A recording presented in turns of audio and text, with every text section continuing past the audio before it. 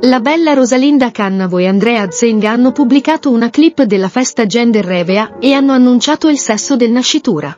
Si tratta di una femminuccia auguri da ispettori gossip.